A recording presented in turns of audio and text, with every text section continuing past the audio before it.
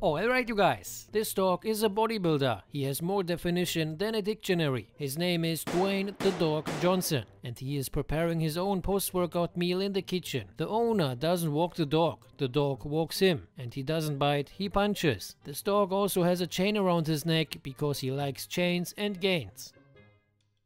Here is another little puppy and he is training with his little friends. The dog wants to bench 405 in the future. Humans don't adopt him. When he grows up he will be strong enough to adopt a human from the homeless shelter. This little marshmallow doesn't like bodybuilding. He prefers to do yoga at home. He is stretching and getting ready for the mailman when he arrives. This dog is not an electrician, but he lights up everyone's day.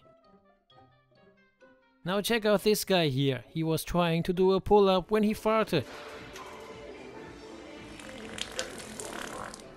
You don't need to be a football fan to know that this was messy. This is what happens when you eat Taco Bell as your pre-workout. He better cleans it up fast because that's going to itch when it dries. His pull-up attempt was like a failed rocket launch by Elon Musk. And the guy in red was grateful for his mask. This was not a Fata Morgana, this was real. And at the end of this clip you can hear a dog barking in the background. Even he smelled that.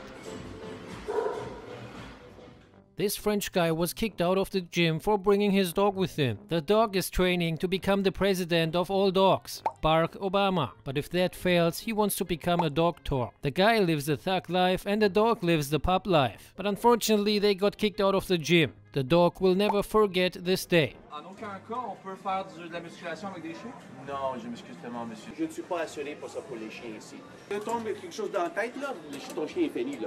Everyone has the right to do stupid things, but these guys are abusing that privilege. Both guys are training on the Smith machine. You can say they have a little entanglement with the Smith like August. They don't have to fear zombies because zombies eat brains. They say abs are made in the kitchen, but abs are made watching gym idiots because you can't stop laughing. Anyway, you guys, hope you enjoyed that short video. And always remember, at the end of the day, it's night. And every little thing is gonna be alright. If it's not alright, it's not the end.